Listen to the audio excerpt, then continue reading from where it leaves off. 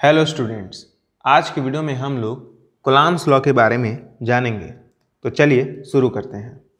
तो Coulomb's law के मदद से हम लोग दो चार्ज बॉडीज़ के बीच में लगने वाले फोर्सेस को कैलकुलेट कर सकते हैं।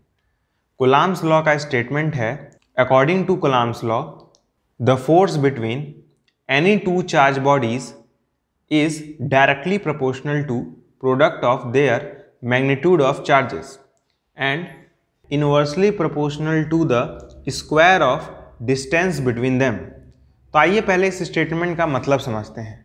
सपोज़ कर लीजिए हमारे पास दो चार्ज बॉडीज़ हैं। ये एक चार्ज बॉडी है ए और एक और चार्ज बॉडी है बी सपोज़ कर लेते हैं इस बॉडी के पास चार्ज है Q1 इस बॉडी के पास चार्ज है Q2 और इन दोनों के जो बीच का डिस्टेंस है वो मान लेते हैं R है। दोनों के बीच का डिस्टेंस क्या मान लेते हैं? R है। तो कोलाम्स लॉ ने कहा कि इन दोनों बॉडीज़ के बीच में जो फोर्स लगेगा, वो डायरेक्टली प्रोपोर्शनल होगा product of their magnitude of charges directly proportional मतलब होता है कि आप इस वाले क्वांटिटी को बढ़ाएँगे तो ये वाली क्वांटिटी भी बढ़ जाएगी। अगर आप इस वाले क्वांटिटी को घटाएँगे तो ये वाली भी क्वांटिटी घट जाएगी। और ये सोचने में बहुत ही ऑब्वियस है सोचिए, अगर इन दोनों बॉडीज़ पे आपने चार्ज बढ़ा दिया। चार्ज क्या किया? बढ़ा दिया। अगर इन दोनों बॉडीज़ पे चार्ज बढ़ जाएगा तो इन दोनों के बीच में लगने वाला फोर्स भी तो बढ़ जाएगा। तो वही बात है। इसीलिए कोलाम्स लॉ ने कहा कि जो फोर्स होगा इन दोनों बॉडीज़ के बीच में, वो डायरेक्टली प्रोपोर्शनल होगा product of their magnitude of charges के। यानी दोनों का जो चार्ज होगा, उसका प्रोडक्ट कर लीजिए तो उसके प्रोपोर्शनल होगा फोर्स मतलब जैसे जैसे इन दोनों बॉडीज़ पे आप चार्ज बढ़ाएँगे फोर्स बढ़ता चला जाएगा।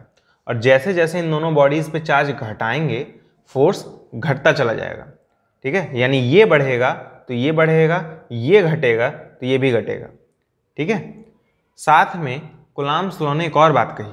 गुलाम्स स्लो ने कहा कि जो फोर्स होगा, वो इन्वर्सली यानी उल्टा इन्वर्सली प्रोपोर्शनल होगा square of distance between them यानी इन दोनों के बीच का डिस्टेंस का स्क्वायर कर दीजिए, उसके इन्वर्सली प्रोपोर्शनल होगा।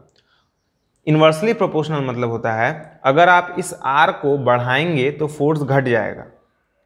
अगर आप आर को घटाएँगे तो फोर्स बढ़ जाएगा। इन्वर्सली मतलब होता है उल्टा बिहेव करना।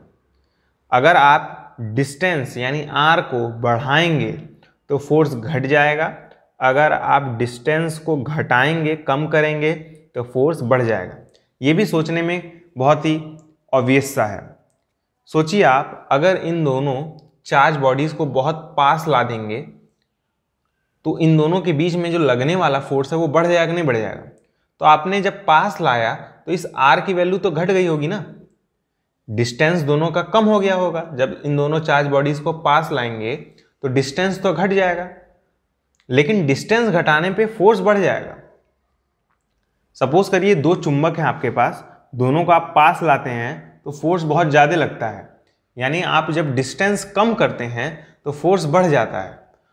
सपोज़ करिए आपने इन दोनों चार्ज बॉडीज़ को बहुत दूर दूर रख दिया तो फोर्स जो होगा इन दोनों के बीच में वो बहुत कम लगेगा।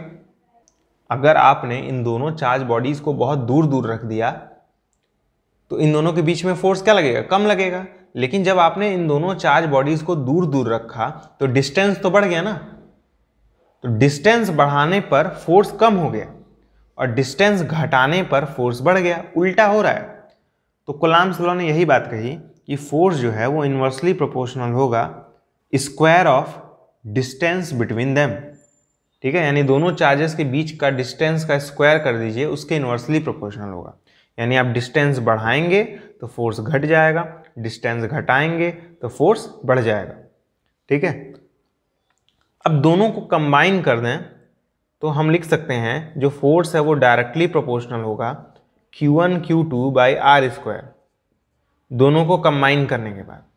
और इस प्रोपोर्शनैलिटी को जब हम लोग हटाते हैं तो एक कांस्टेंट आता है K K Q1 Q2 two by R square force की वैल्यू क्या आती है? K Q one Q two by R square ठीक है? के क्या है? कांस्टेंट है। ये जो के है ना, इसकी वैल्यू डिपेंड करती है आपने इन दोनों चार्जेस को किस मीडियम में रखा है। सपोज़ करिए, आपने अगर इन दोनों चार्जेस को एयर में रखा तो के की वैल्यू कुछ और होगी। अगर आपने इन दोनों चार्जेस को पानी में रख दिया तो के की वैल्यू कुछ और होगी। तो जब अगर आप मीडियम बदलेंगे तो फोर्स भी बदलेगा। ये बात ध्यान दीजिएगा। तो सपोज़ करिए आपने दो चार्ज बॉडीज एक बार एयर में लिए हैं और दोनों के बीच में फोर्स कैलकुलेट किया, आपका आया दस न्यूटन। तो अगर आप उन्हीं दोनों चार्ज बॉडीज को पानी में लेके जाएँगे और तब फोर्स कैलकुलेट करेंगे तो दस न्यूटन नहीं आएगा, अलग आएगा। अगर आपको जानना है कि क्या आएगा तो आप कमेंट बॉक्स में बताइएगा, मैं उस पर भी वीडियो बना दूँगा। ठीक है? तो ध्यान दीजिए, पहले फोर्स जो है वो डायरेक्टली प्रोपोर्शनल था Q1 Q2 के। फोर्स जो था वो इन्वर्सली प्रोपोर्शनल था square of distance between them के। दोनों को मैंने कंबाइन किया तो फोर्स जो है वो प्रोपोर्शनल मिला Q1 Q2 by R square के। ये जो मैं प्रोपोर्शनलिटी अगर हटा दूँ तो मेरे पास एक कांस्टेंट आता है के तो फोर्स जो है इक्वल हो जाता है K Q one by Q two R square इस के की जो वैल्यू होती है, वो होती है nine into ten to the power nine actually ये जो के है, वो इक्वल होता है one by four pi epsilon not इस एप्सलन नॉट को कहते हैं हम लोग permittivity permittivity of free space ठीक है? कमेंट बॉक्स में आप लोग बताइएगा इस एप्सलन नॉट की वैल्यू क्या होती है इन वैक्यूम ठीक है? वैसे भी ये वैक्यूम के लिए ही होता है, इसीलिए एप्सलन नॉट लिखा होता है। मतलब अगर आप मीडियम बदलेंगे तो इस एप्सलन नॉट की जगह कुछ और चीज़ें आ जाएँगी। ठीक है? उसे हम लोग किसी दूसरे वीडियो में डिस्कस करेंगे। यानी एक्चुअली जो फोर्स है, वो इक्वल हो जाएगा। के की जगह मैं चाहूँ तो one by four pi epsilon not लिख सकता हूँ। Q one Q two by R square ठीक है?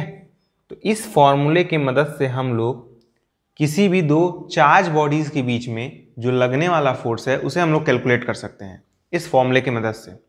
ठीक है? ये बस हमें मैग्नीट्यूड दे के जाएगा। ध्यान दीजिएगा। ये जो फॉर्मूला है, ये बस हमें मैग्नीट्यूड बता के जाएगा फोर्स का। यही है कोलाम्स लॉ।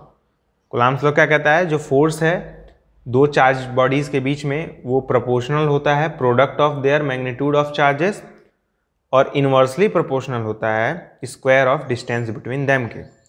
ठीक है? और फोर्स का फॉर्मूला क्या हो जाता है? One by four pi epsilon not Q one Q two by R square ध्यान दीजिएगा, जब आप इन दोनों चार्ज बॉडीज़ पे चार्ज को बढ़ाएँगे तो फोर्स बढ़ जाएगा, क्योंकि डायरेक्टली प्रोपोर्शनल है।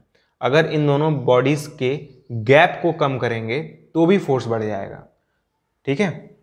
यही की पॉइंट्स हैं। तो आज के वीडियो में बस इतना ही। अगर आप कोलाम्स लॉ के फॉर्मूले का वेक्टर फॉर्म देखना चाहते हैं तो मुझे कमेंट करके ज़रूर बताइएगा। मैं उस पर भी वीडियो बना दूँगा। तो आज के वीडियो में बस इतना ही। मिलते हैं अगले वीडियो में। तब तक के लिए, गुड बाय।